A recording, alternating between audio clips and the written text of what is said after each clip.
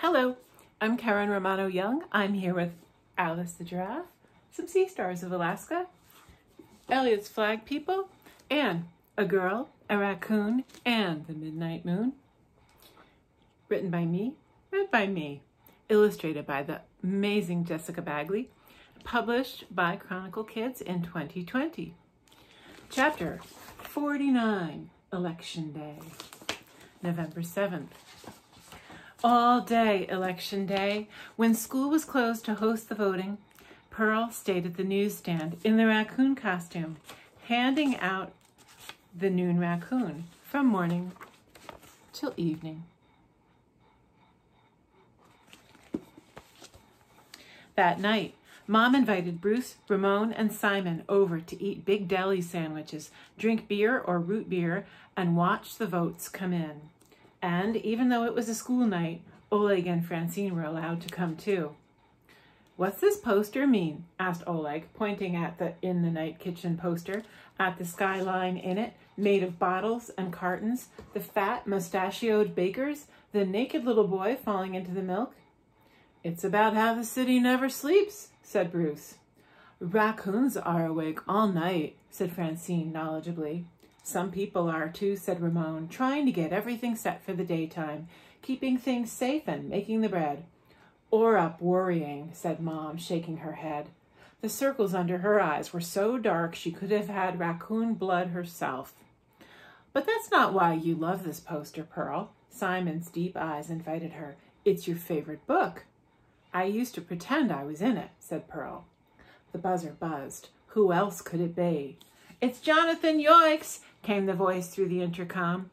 Pearl buzzed him in and opened the door. Yoicks was traveling light. In a hooded sweatshirt with just a camera around his neck, his beaming face as round as the full moon. Did you hear?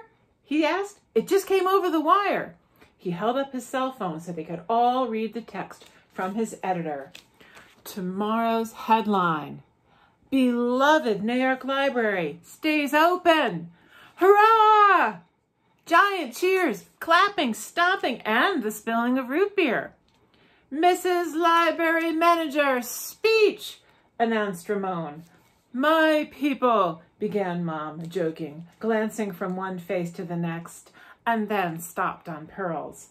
Pearl considered the secret Mom had kept to save the library. She didn't exactly shrug it off, but she knew what she had to do.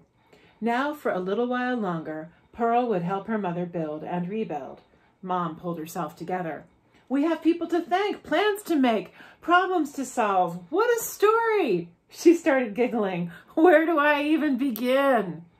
Begin with Vincent, said Pearl. If she wasn't here, the library wouldn't be half as beautiful. Begin with her head being stolen, said Bruce. If that hadn't happened, the library wouldn't have gotten any publicity. He smiled at Mom. Begin with the rock lady, said Oleg. If Francine hadn't come up with that, the kids wouldn't have started coming. Begin with the reading raccoons, said Francine. That's what kept them coming. But now listen, Yoik said to Mom. The construction guys mentioned your staff had an unusual idea for what's next. Have you given it any thought? Have you put it to any discussion? About Mr. Nichols, Mom said, nodding around the room to include them. We approve, said Bruce. It'll work, said Ramon. Pearl's suspicion rose. She hadn't been included in any discussion. If it works out, you'll love it, Pearl. There's just one thing, said Mom. Nobody knows where to find him. I do, said Pearl. It was as she'd expected. The rubber-banded wad of papers in the shed-shaped box were enough to track down Nichols's lawyer, who conveyed the city's offer to Nichols. If he was going to use his credit card, he was going to have a post office box where he could get his bill. And now Nichols was going to be a consultant to Mr. Bull and Mr. Dozer. That's right. The architect, Christopher Nichols, his name now cleared, was back and hired to consult on the library renovation. Instead of new housing, Mr. Bull and Mr. Dozer had put in a bid to restore the old library. With Mom, Ramon, and Mr. Nick Christopher Nichols, they pored over the plans. Francine and Pearl weaseled in around them, Francine to see how people made things, and Pearl because she thought she owned the place. Mom put a finger on the sketch of the security officer's office that they were building in the basement, along with office space and conference rooms for tutoring. Look, said Mom, looking into Pearl's eyes. A bedroom for our new security guard. Like Mike Mulligan living in the basement of the new town hall, said Francine. That's me for a bit, said Nichols, bowing shyly. But he hadn't been too shy to suggest something else for the library basement, a section of lockers where homeless people could keep their belongings safe so they wouldn't have to carry them everywhere they went. And maybe a public bathroom down there, too, that homeless people would be welcome to use. And the staff agreed. If homeless people were part of their neighborhood, then the neighborhood branch should have services for them, too. In the face of this, Pearl couldn't bear to ask where Marianne and Eric would live if they ever came back. But what was that noise? Bruce was bellowing Pearl's name from the garden door. She skidded down the hall and stopped short at the door, squeaking her sneakers. At the foot of Vincent's statue was a middle-sized raccoon. Pearl ran into the garden. You got bigger, she said, grinning. Marianne put up a paw in greeting and smiled back. Pearl pulled a card catalog, a catalog card from the stack she always kept in her pocket now, because she never knew when an idea for a story might hit her. The raccoon grabbed the card. Couldn't stay away. Too much to write. I get it, said Pearl. You can take a raccoon out of the neighborhood, but you can't take the neighborhood out of the raccoon? Marianne shook her head.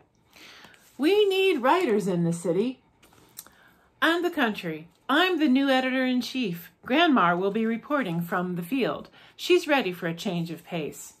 At first, Pearl just laughed a little. Literally from the field, she said. It made her remember.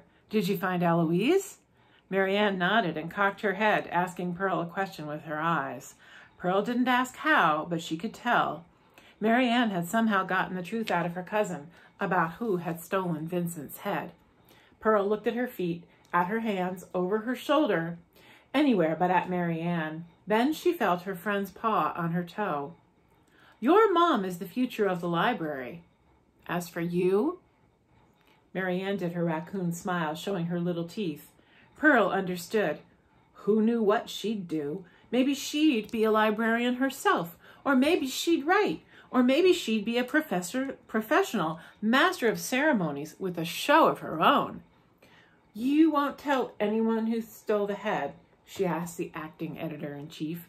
What a scoop that would be. But the raccoon was her friend first, reporter second, and Marianne shook her head. Thanks, whispered Pearl. I'm glad you're back. And then she thought about what it meant that Marianne would be here alone. I'll be the best co-author I can be, she said, thinking of Marianne having so much work to do, running the Midnight Moon by herself, and friend. Just then, a kit peeked his head out from behind Vincent's feet, smiling with all his teeth showing. Hey, look who, look who showed up, said Pearl. The little raccoon grabbed the pen. He wrote, Eric, I write. Nice job, said Pearl. But where were the raccoons going to live? She ran to her nook and huddled there, considering. She barely looked up when Nichols settled beside her. Pearl, he said, I'm the one that showed you those reading raccoons in the first place. Did you really think I wouldn't consider them in the plan? But Mr. Bull and Mr. Dozer are in the city and what they don't know won't hurt them, said Nichols. They wouldn't believe it anyway. If I told them there was raccoon space built into this plan, and naturally the renovated basement wouldn't be up to code without a storage closet or two. Marianne has to live in a closet, Pearl said, but she felt hopeful. A closet with a back a foot or two short of the wall behind it, with, say, a small door so the plumber can access the heat pipes. See what I mean? She saw. She smiled. A sidebar about friendship. It takes plenty of worms to make a good bin of compost. That's what Grandma says. That's her way of saying, don't expect all your friends to be just like you in every way. Just hope they are, in the ways that matter, by M.A.M. The very next day, Ramon splayed an open copy of The Morning Moon across Pearl's lap. There Pearl was, photographed at last, although she was pretty well hidden by the raccoon costume, not to mention upstaged by Marianne, standing on the newsstand ledge at her shoulder. Unique New Yorkers, Marianne Malamar and Pearl Moran. In the city that never sleeps, One reason New Yorkers are so uniquely nocturnal is doubtless the midnight moon. Not the one in the sky, the one on the newsstand. In a city that's a symphony of language and literature, it's little surprise that the brains behind this deep dark edition is a raccoon with a command of both. Among the Midnight Moon's recent headlines, courtesy of reporter Marianne Malamar, were tales of a cooperative cleanup after a Halloween party as local rodents pitched in to squirrel away leftover pumpkin rind. Newcomer park ranger Bruce Chambers led a Central Park animal census, revealing 212 species. And a string report covered a reunion involving a raccoon relocated weeks ago by Havahart Trap. Go looking for Marianne Malamar, and chances are slim that you'll find her. What you will find is her spokesperson, Pearl Moran. Pearl is the daughter of the librarian in charge of the Lancaster Avenue Branch Library, recently threatened by the swing of the wrecking ball. The unique New Yorker's reporter caught up with Pearl, dressed in the striped furs of the Moon editor herself, as she notified the neighborhood reading raccoons, a brand new city symbol to rival Lady Liberty, or at least Mr. Met, of the need to vote for the library's new budget. The fastest growing crowd south of Times Square, Lancaster Avenue's reading raccoons rally around a good story, such as the recent weird overnight reappearance of the stolen head of a beloved statue. Perhaps, our reporter asked Pearl, Marianne Malamar could shed light on this mystery. Pearl said with a shrug, the head is back where it belongs. That's the main thing. As the old saying goes, there is history. There is mystery. It's a local public library. These lines are from a jingle advertising the New York Public Library that played on TV in the 60s.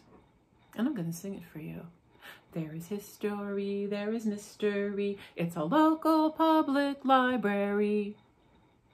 In other words, a treasure.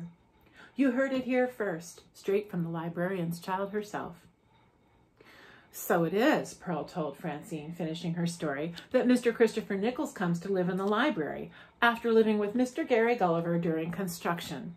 Gully had to let him, said Francine. He's on the library side after all those baseball cap sales.